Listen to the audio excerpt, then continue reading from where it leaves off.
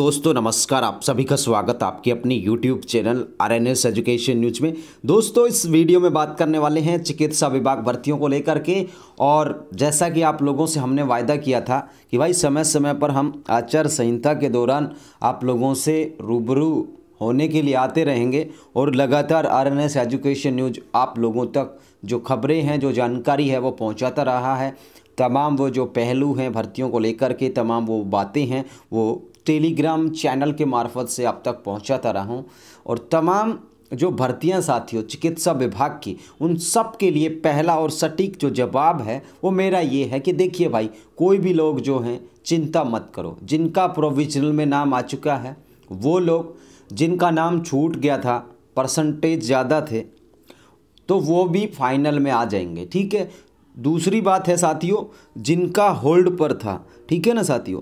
वो भी चिंता ना करो। होल्ड पर जिनका नाम था या उनकी एप्लीकेशन आईडी थी, भाई जिनका होल्ड में कुछ भी गलत नहीं है ना, यानी कि उन्होंने जेनवनली पास किया है, चाहे बंगलोर से किया हो, चाहे हरियाणा से किया हो, पंजाब से किया हो यूपी से किया, कहीं से भी किया हो।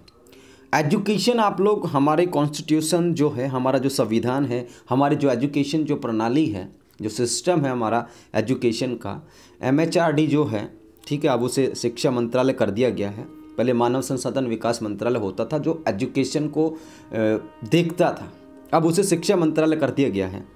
तो एमएचआरडी और जो तमाम यू हों या नर्सिंग काउंसिल हों आई इंडियन नर्सिंग काउंसिल हों, या फिर स्वास्थ्य मंत्रालय, भारत सरकार हो, उसके तहत आप किसी भी स्टेट में जा कर के कोई भी डिग्री डिप्लोमा कर सकते हो, कोई दिक्कत वहाँ पे है नहीं।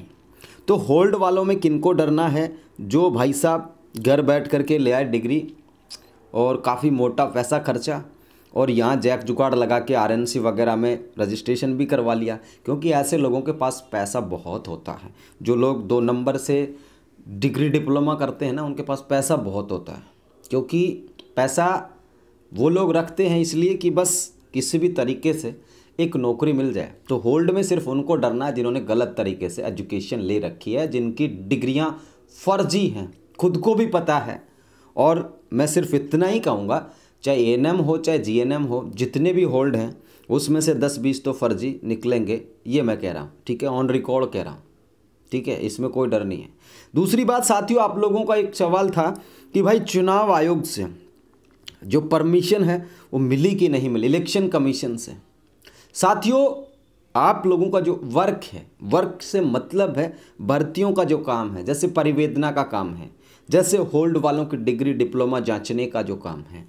तो वो जो परमिशन वगैरह है, वो ईसी ने दे दी है। ईसी का मतलब यहाँ पे इलेक्शन कमीशन या निर्वाचन आयोग या चुनाव आयोग आप लोग कहेंगे। ठीक है साथियों?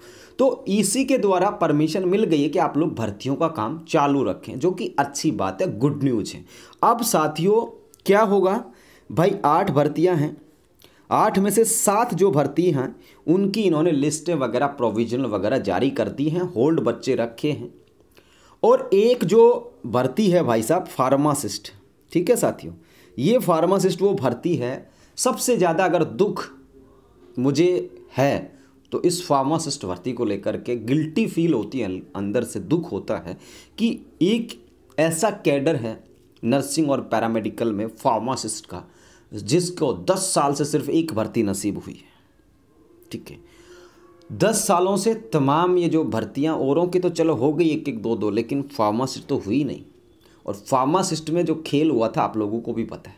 तो साथियों, जो फार्मासिस्ट भर्ती हो फार्मासिस्ट वालों के लिए इसलिए स्पेशल कह रहा हूँ कि दोस्तों, जो भी फार्मासिस्ट के साथी हैं भाई बहन हैं मेरे, छोटे या बड़े, वो बिल्कुल भी चिंता आप लोग मत करो। जो फर्जी होगा, वो बाहर होगा ठीक है, जिनका बिल्कुल सही है, वो लोग नौकरी लगेंगे, आप लोगों की लिस्ट आएगी।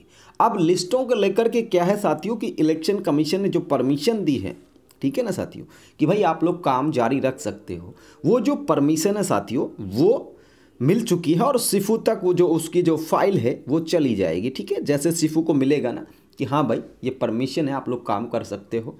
तो ये सिफू क्या करेगा, आप लोगों की जो परिवेदना थी, ठीक है ना ग्रीवेंस जिसको बोलते हैं अंग्रेज़ी में, जो ग्रीवेंस आप लोगों का था, परिवेदना था, जिसमें और होल्ड वाले ठीक है।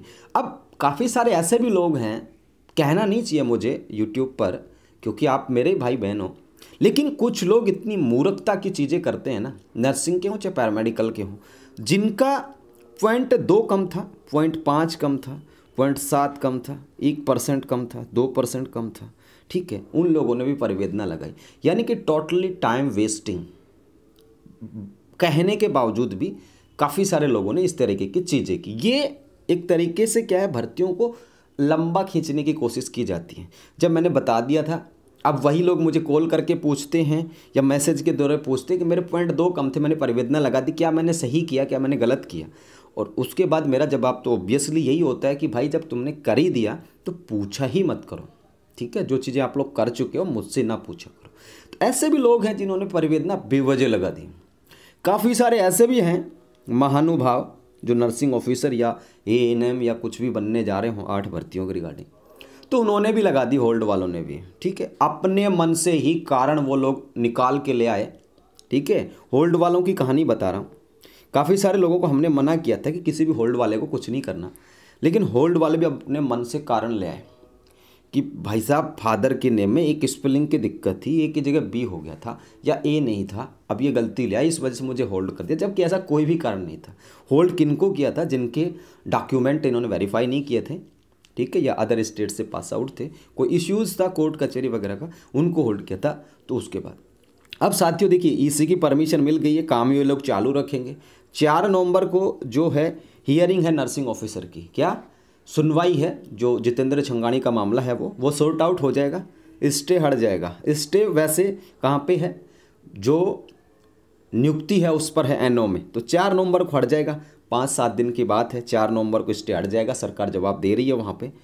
दूसरी बात दोस्तों, अब जो लिस्ट है आप लोगों की, ठीक है भाई?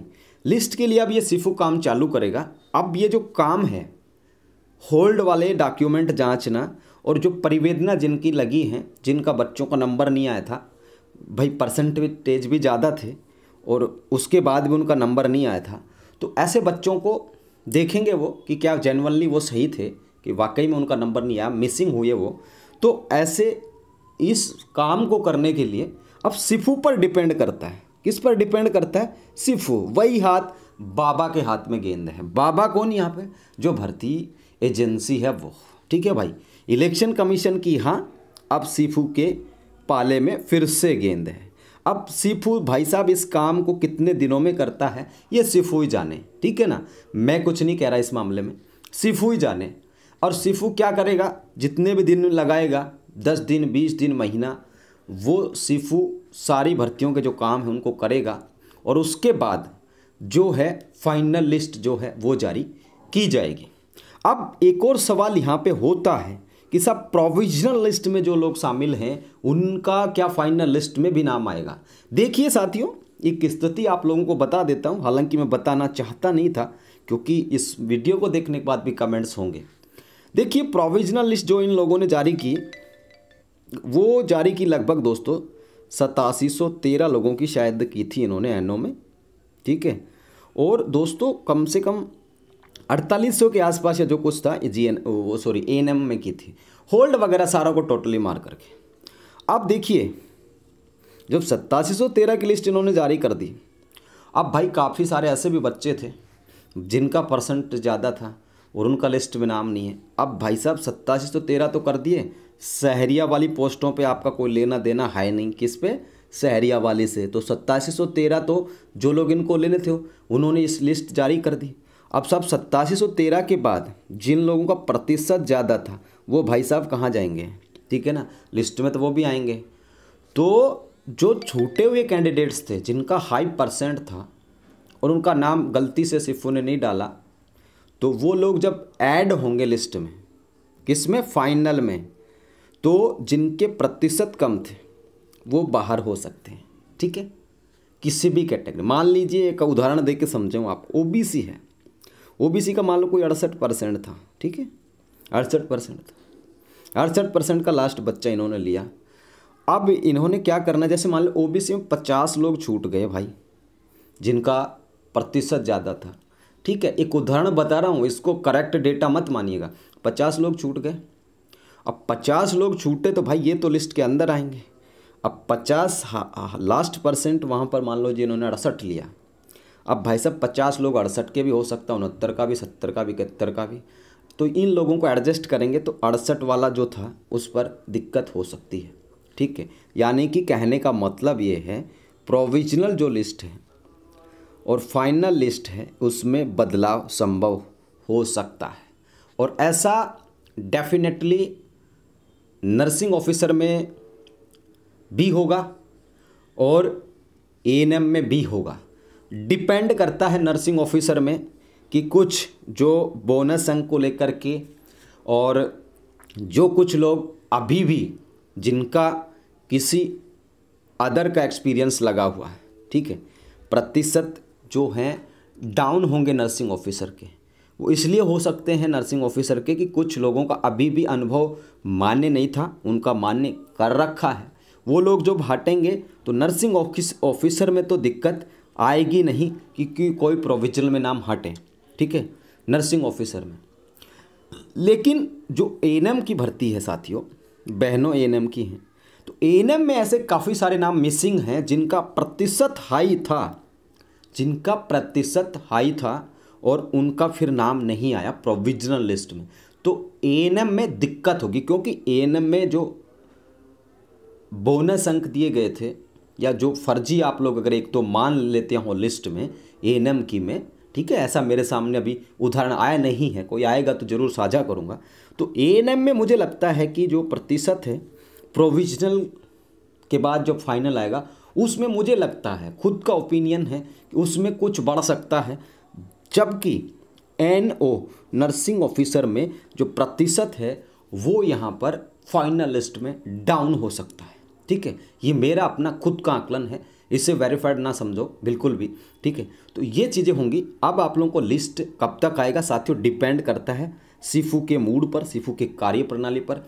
तो आप लोग मोटा मोटी तौर पर बात करें तो मुझे जहाँ तक लगता है, चुनाव होने तक ये लोग क्या करेंगे? लिस्ट वगैरह ही तैयार कर पाएँगे। और ऐसा लगता है मुझे कि चुनाव के बाद फाइनल लिस्ट और उसके बाद की जो प्रोसेसिंग है, वो पूरी हो पाएगी। कुल मिलाकर के अब 10 से 15-20 दिन के अंदर तो कुछ होना नहीं है। ठीक है, जो खुशियों की आप लोग बात कर रहे थे कि दीपावली पर खुशियाँ मिलेंगी, खैर खुशियाँ मिली हैं, लेकिन आधी अधूरी हैं। तो वो जो चीज़ें हैं, अब आफ्टर दीपावली, ठीक है, होंगी। अगली दीपावली अच्छे से मनाना और त्यौहार तो हर अच्छे से मनाना है आप लोगों को बिल्कुल सीना तान के, ठीक है। नौकरियाँ मिलती हैं तो जीवन चल जाता है हम जैसे लोगों का। लेकिन ना भी मिले तो घबराने की आवश्यकता नहीं है। जीवन है, चलता रहेगा ये सारी चीज़ें। किसी का नंबर नहीं है, वो भी निराश ना हो।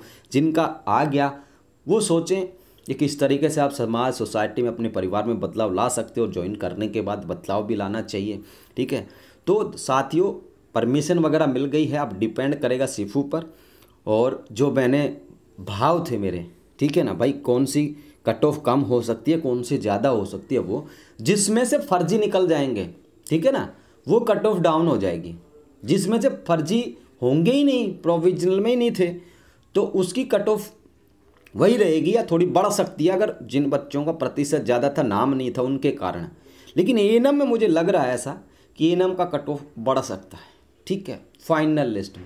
किसका कितना बढ़ेगा? डिपेंड ये करेगा कि कितने प्रतिशत वाले बच्चे थे, लेकिन ए में ऐसा लग रहा मुझे कि ए में ज़्यादा लड़कियाँ छूट गई थी, प्रतिशत ज़्यादा था, उसके बाद अठहत्तर और उनासी की दो से चार लड़कियाँ का जो मुझसे भी उन्होंने पूछा था, कि सर मेरे अठहत्तर परसेंट थे, आया नंबर नंबर नहीं आया, क्या कारण था? तो उन्होंने परिविदना लगाई है। ऐसे बहुत सारे केसेज हैं ए में। लेकिन जी इन केसेज की संख्या कम है, और जीएनएम में अभी भी ऐसे एक्सपीरियंस वाले लोग हैं जिनको एक्सपीरियंस गलत दिया गया था, ठीक है? या जिनके अभी भी फर्जी तरीके से जिन्होंने अनुभव को किया, उसे क्रॉस चेक करके लोग देखेंगे। तो एनओ में कम होने की पॉसिबिलिटी है फाइनल में, ठीक है? बाकी ए में बढ़ने की आशंका मेरे अकॉर्डिंग ठीक है? तो ये साथियों, बात थी। और जिस भी भर्ती में फर्जी लोग निकल जाएँगे, अभी भी अगर कोई प्रोविज़न लिस्ट में है तो उनका कट ऑफ़ जो है, कम हो सकता है जितने फर्जी निकलेंगे। बसरते ज़रूरी है कि प्रति ज़्यादा प्रतिशत वालों का नाम नहीं आया था, वो ऐड ज़्यादा ना हो। तो ठीक है, नहीं तो ए में बढ़ने वाला है। ठीक है साथ, और ये सारी चीज़ें बहुत जल्द पूरी हो जाएँगी। उम्मीद कीजिए, दुआ कीजिए। फार्मासिस्ट वाले भाई बहनों से मैं यही कहूँगा कि आप लोग देखिए, उदास ना हो। ठीक है, और आप लोगों की लिस्ट तभी आएगी जब वो भाई साहब फाटक जी, ठीक है ना, जब कुछ बंद करके कमरा और देखेंगे कि भाई साहब किन किन ने फर्जी बनाए, इनको जारी किए, रजिस्ट्रेशन वगैरह आर आरपीसी में, फार्मेसी काउंसिल में। तो उसके बाद ही, ठीक है? तो कुल मिला के बात है भर्तियाँ सारी होंगी। कोई नेता क्या कह रहा है? उससे कोई लेना देना नहीं है। कोई आपकी यार, दोस्त, सहेली, मित्र, प्यारे, व्यारे, जो भी कुछ कह रहे हो ना, उनसे कुछ मत कहो, ठीक है? क्योंकि बहुत सारे लोग क्या होते हैं ना कि ये भर्तियाँ तो रद्द कर देंगे, फलानी सरकार आ जाएगी, धिमकानी सरकार आ जाएगी। तो साथियों, ऐसा कुछ नहीं होगा। भर्तियाँ पूरी होंगी, पचास बार मैं लिख चुका हूँ, पचास बार मैं बोल चुका हूँ, भर्तियाँ पूरी होंगी, चाहे कोई भी सरकार आए। ठीक है? कांग्रेस और बीजेपी दो ही आती है हमारे यहाँ तो। अब कांग्रेस और बीजेपी आ गई तो भी भर्ती पूरी होगी कांग्रेस वापस आ गई तो भर्ती पूरी होगी। वोट आप लोगों को देना है, किसको देना है, ये आप लोग तय करेंगे। मैं मेरे इस प्लेटफॉर्म से कभी भी ये नहीं कहूँगा कि आप उस पार्टी को वोट दीजिए, ठीक है? बहुत सारे लोग कहते होंगे, क्योंकि मेरी अपनी सरकारी नौकरी है, मैं किसी भी पार्टी को यहाँ पर वोट देने के लिए नहीं कह सकता। मेरे भी गवर्नमेंट नौकरी के कुछ रूल्स हैं जिनको मुझे फॉलो करने हैं, ठीक है? कल नहीं, कह दूँ किसी भी पार्टी के पक्ष में या विपक्ष में तो दिक्कतें मुझे हो सकती हैं। इसीलिए हम बचते हैं ऐसी चीज़ों को कहने में। आपका मन है, जहाँ आपको उचित लगे, जहाँ आपको सही लगे, उसे वोट कीजिए। कोई भी पार्टी सही नहीं लगी तो नोटा को वोट कीजिए, लेकिन वोट ज़रूर करना है। ठीक है साथियों? तो इसीलिए भी बता देता हूँ। मैं और चैनल्स की तरह लिख के नहीं दे सकता कि इस सरकार को वोट दे दीजिए, इस पार्टी को वोट दे दीजिए और आपकी नौकरी मिल जाएगी। भाई, मेरे लेके भाड़ में जाए सरकारें, ठीक है? जिसको मन करे उसको वोट करना है। इतना दावा मैं कह रहा हूँ, कोई भी सरकार आए, तुम्हारी भर्तियाँ पूरी होंगी। ये आरएनएस का चैलेंज है दावे के साथ, ठीक है? ऑन रिकॉर्ड कहता हूँ सारी बातें। चाहे तो आके देख लेना और जब नौकरी की नियुक्ति होगी, उस दिन आर चैनल पर लाइव आप लोगों को केक भी खिलाया जाएगा सबको, ठीक है ना? तो चिंता मत करो, कोई भी बेफिक्र रहो। धन्यवाद, जय हिंद, जय भारत।